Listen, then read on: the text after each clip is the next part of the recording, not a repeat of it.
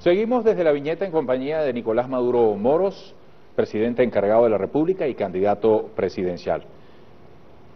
¿Ha tenido tiempo de pensar por qué el presidente Chávez me designa a mí esta responsabilidad, pudiendo haberlo hecho en otras personas? ¿Por qué cree usted? No sé realmente, no sé. Creo que el tiempo irá despejando las incógnitas que hoy tenemos. Yo lo único que hago es cumplir ahora su orden y levantar su legado. Yo he contado cómo fue esto, ¿no? Hubo un solo testigo de esto directamente, el compañero Jorge Arriaza. El 5 de diciembre yo lo fui a ver a La Habana.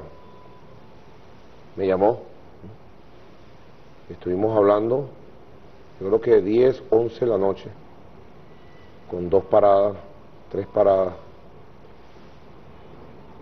hasta las 5 de la mañana quizás. Y fue el día en que él me contó todo. Me dijo todos los riesgos. A mí me dolió mucho y me paralizó realmente. Porque yo sé los alcances de la intuición, de la capacidad de visión del presidente Chávez. En cada una de las etapas de la enfermedad, él supo lo que iba a pasar. Cuando le detectaron, lo que queríamos era un tumor accesado. Eso sería, yo creo que el 10 en la noche de junio o 9. Veníamos una gira de Brasil y de Ecuador. Llegamos a La Habana, nosotros nos fuimos a trabajar a la comisión mixta y él se fue a hacer reuniones con Raúl, con Fidel, y un día me llamaron, él me llamaba, ¿cómo va la comisión mixta? Esto, aquello, le mandaba los papeles, pero un día me llamaron urgente, y me fui volando, y me llevaron para el hospital, y llegué ahí, estaba el comandante, y él me dijo, pasa parece que me van a dar una mala noticia, me dijo. Y los dos estábamos sentados en un mueble, entraron un grupo de médicos y dieron la noticia, que tenía un tumor accesado. Él hizo muchas preguntas, vio en la computadora los resultados de los exámenes, se los mostraron. Y a la hora y media los médicos salieron y él pidió tiempo para pensar porque había que hacer una operación. Los médicos eran optimistas. Me decían, bueno, esto va a ser así, molestoso, fastidioso, pero funciona. Y él se paró, salieron los médicos, yo me quedé, después caminé detrás de él, y él se volteó y me dijo, una palabra, no voy a decir una grosería. ¿Por qué? Me dice, ¿por qué? esto va a retrasar todo, dice. Pensando siempre en la aceleración de los planes de la patria. Y yo le tranquilo, presidente, salimos de esto. Ya, listo. Fíjense que hacen esto, esto y esto. Y él se quedó viendo hacia el piso como cuando él se conectaba con su intuición más profunda. Y me dijo, esto es peor de lo que tú piensas, Nicolás, me dijo. Esto es peor de lo que tú piensas. Y tú te vas a acordar de mí. Yo me he acordado mucho de esto. Pero bueno, fuimos a esa operación. Luego vino la célula cancerígena, también una anécdota característica como esta. Pero cada operación, yo pasé con él ahí al lado del tratamiento de la quimioterapia. Y era increíble, Eduardo. Él me llamaba a las 6 de la mañana, a las 7 yo estaba en su habitación y me despedía a las 10, con los necesarios descansos para almorzar de media hora, todo el día pensando, yo tengo esas notas todo el día dando orientaciones. Allí nació la gran misión Hijos de Venezuela, de todos esos pensamientos. La gran misión Vivienda se consolidó allí porque había nacido más o menos en esos meses. La gran misión En Amor Mayor para proteger a los viejitos. De allí nacieron un conjunto de cosas, unas que están pendientes, que fueron colocados en el programa de la patria y lo tenemos allí y lo vamos a llevar nosotros adelante. Pero Llegó el día, pues 5, 6 de diciembre, él me, me, me dijo muchas cosas y me dijo en un momento dado, y si eso pasara, me dijo, que yo no saliera de la operación o que quedara tan grave y después me fuera, te toca a ti, me dijo. Y bueno, yo quedé mudo realmente. Me dijo otras razones. Nunca imaginó eso, no se lo esperaba de ninguna manera. No, jamás, porque todos nosotros, de verdad, ninguno, yo por lo menos, pero mis compañeros también tengo que hablar nombres de ellos, de Diosdado, de Elías, de Rafael, de Elcilia, de Jorge Rodríguez, de, de todos los compañeros. Nosotros no somos, la política para nosotros no es una carrera de ambición, de poder personal. La política para nosotros es una forma de luchar, de luchar en primer lugar, y una forma de construir patria. Y nosotros teniendo un líder, un jefe del tamaño tan gigante desde el punto de vista moral, de la inteligencia, del carisma, de la capacidad del comandante Hugo Chávez, estábamos satisfechos y estábamos preparados para toda una vida estar al lado de él, acompañándolo, apoyándolo. Y entre ese 5 y 8 de diciembre, cuando todos en el país nos enteramos a través de la transmisión en cadena, ¿qué hablaron después de aquella frase? Si pasa esto, te toca a ti. ¿Qué hablaron? ¿Cómo afinaron el rigor o los rigores de una responsabilidad tan grande, histórica? Bueno, después, el 6 volvimos a hablar, yo me vine adelante, lo esperé aquí, él llegó el 6 en la noche, sería 11 de la noche, o ya era 7 a las 12, 1 de la mañana. El 7 nos llamó a Diosdado y a mí, y estuvimos con él un rato, conversamos bastante, con la constitución en mano. No habíamos visto nosotros, nos negábamos a ver la constitución, y él nos regañó pues. Y me quitó una constitución y la empezó a leer y después me la entregó. No querían ver el 233. Ni el 231, ni el 232, ni el 233, ni el 234. Lo leímos y él le quedó claro y él dijo, yo voy a hacer este anuncio, este anuncio. Yo solo vine a esto. Ya él me había dicho el 5 y el 6 a los compañeros que lo habían visitado y le había dicho a sus médicos que le decían que había que operarlo ya. Dijo, no, yo no me puedo operar. Yo tengo que regresar, dar la cara y dejar ordenado todo. Y para eso vino. Y con unos dolores terribles, terribles, terribles, producto de la propia enfermedad. Él lo dijo. Eh, terrible realmente. El 7 lo vimos, conversamos bastante, luego lo vimos el 8 nuevamente y ya el 8 salió. Ustedes, si ustedes supieran los dolores del 8, los dolores previos a cuando llegó. Llegó, Teresita estaba aquí, allí con nosotros. Ernesto Villegas, que está aquí también, estaba con nosotros. Y nosotros le habíamos dicho que no anunciara esas cosas. Le habíamos dicho, presidente, no diga eso. Todo va a salir bien primero. Y si llegara a haber algún percance, nosotros nos encargamos. Él dijo, voy a pensarlo, arriba. Cuando bajó, se sentó en su silla y le dijo, me dijo a mí, me vio hacia un lado con sus ojos de águila, pues te clavaba los ojos así, te veía hasta el alma. Y le dijo a Diosdado y a los compañeros, yo vine solo a esto y lo voy a hacer. Yo tengo que hacerlo, me dijo.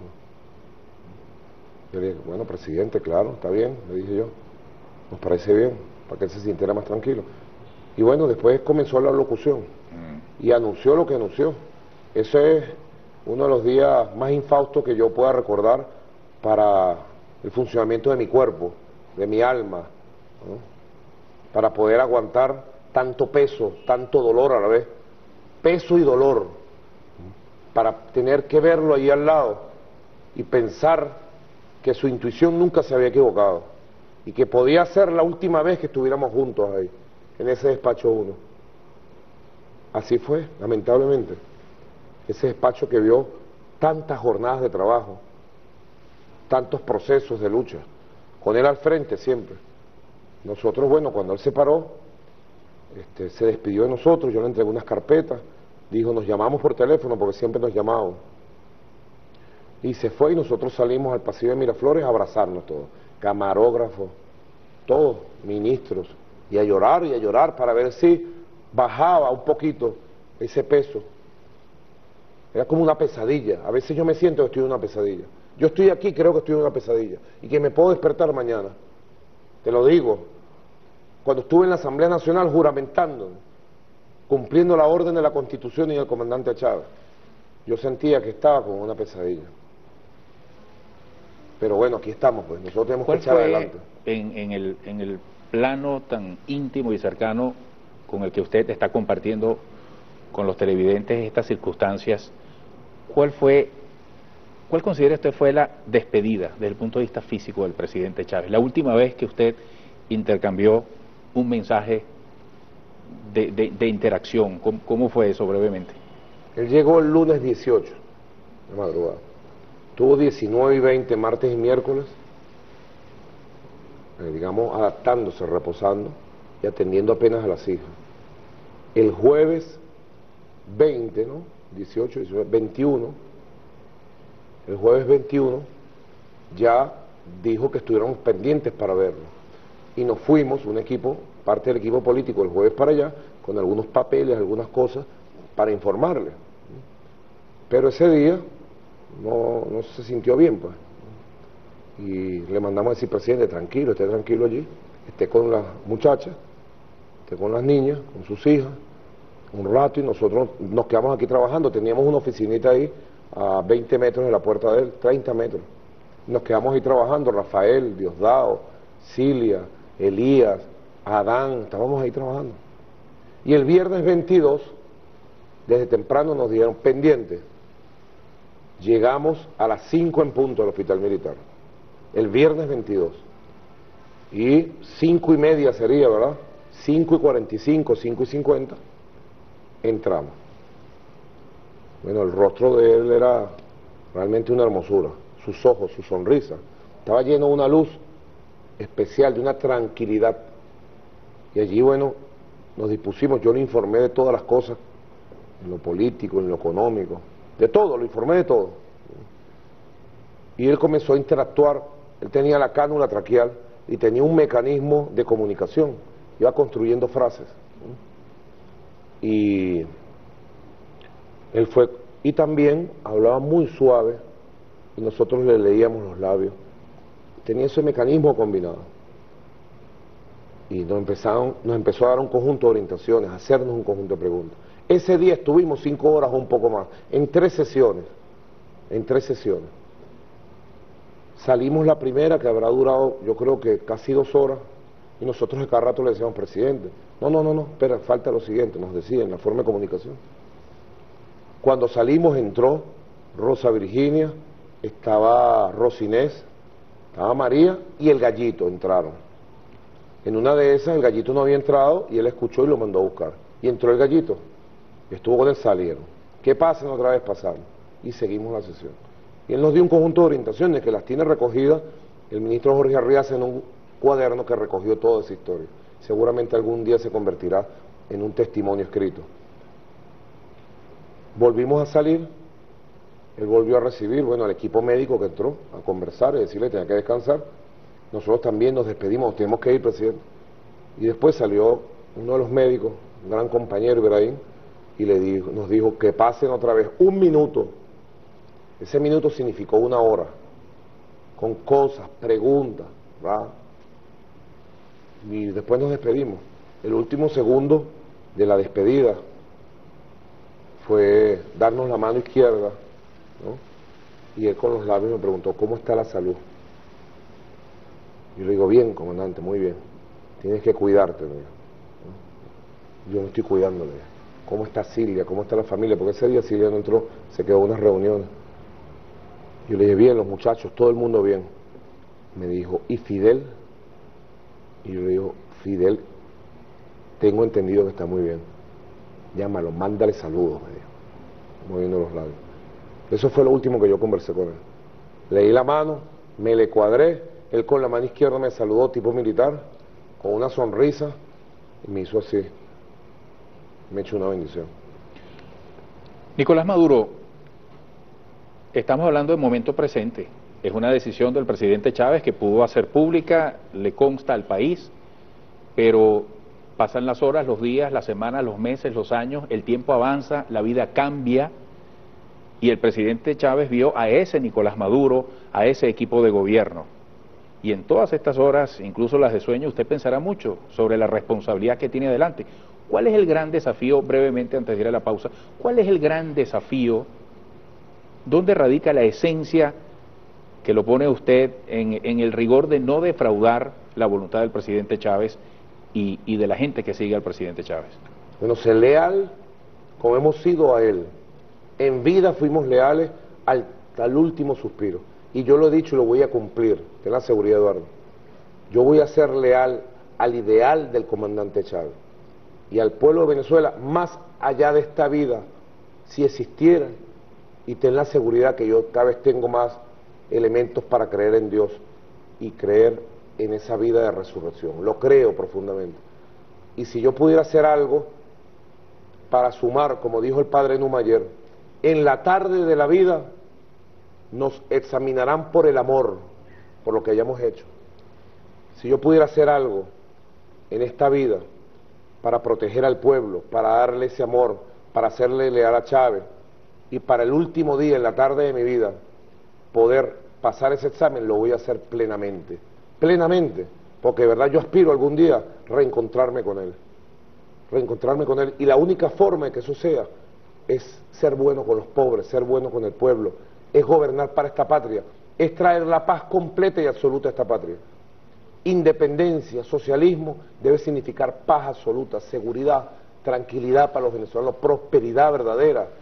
¿Eh? Esos son los grandes sueños que nos motivaron a nosotros toda la vida, los grandes sueños que nos llevaron a ponernos bajo el mando de este hombre, subordinarnos bajo el mando de este hombre, darle nuestra vida completa al comandante Chávez. Nicolás Maduro, vamos a la próxima parte a hablar y a entrar directamente en asuntos de gestión, de decisiones, porque transcurre la capilla ardiente en honor al presidente Chávez y el país avanza y tiene que haber gestión. Usted es el presidente encargado.